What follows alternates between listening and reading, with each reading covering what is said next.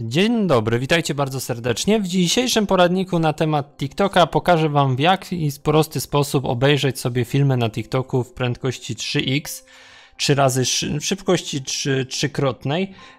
Wystarczy, słuchajcie, jeżeli oglądacie tutaj na przykład taki filmik jak ja, e, w większości wypadków te filmiki mają udostępnioną opcję e, duetu. Wystarczy, że w prawym górnym rogu, dolnym rogu klikniecie tą strzałeczkę, ja mam po angielsku, więc share u Was to będzie pewnie udostępnij.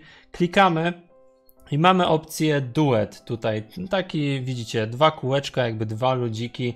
Klikamy. E, dzięki temu, jak widzicie, mamy możliwość podziału naszych, naszego filmu i widzimy ten nasz film pra po prawej stronie, znaczy nasz film, ten, który chcemy obejrzeć.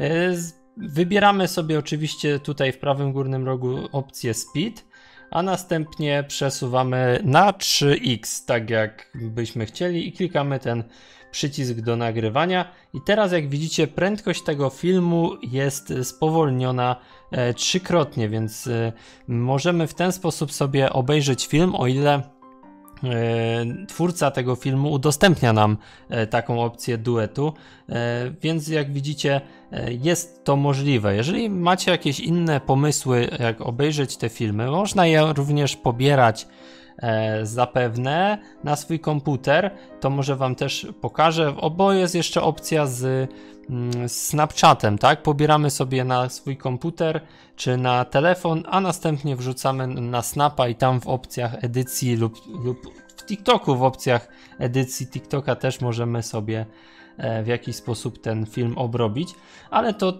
jakby tak jest najszybciej z tych wszystkich e, opcji, które mamy. Ja sobie cofnę to i tak jak mówię, możemy też nawet przyspieszyć ten film, który tutaj mamy. Eee, jak widzicie, no, dam discard, no ale jeszcze raz Wam pokażę opcja share, duet. No i teraz możemy sobie na przykład dać razy 3 jeszcze bardziej przyspieszyć ten film lub spowolnić. Jak widzicie, tak wygląda spowolniony ten filmik. Mam nadzieję, że Wam e, pomogłem że ułatwiłem Wam zadanie, sprawę do oglądania. Jeżeli macie jakieś jeszcze pytania, to służę pomocą, napiszcie w komentarzu. No i jak macie jakieś pomysły, jak jeszcze obejrzeć sobie te filmy w takiej prędkości, napiszcie też w komentarzu. Dziękuję i do zobaczenia.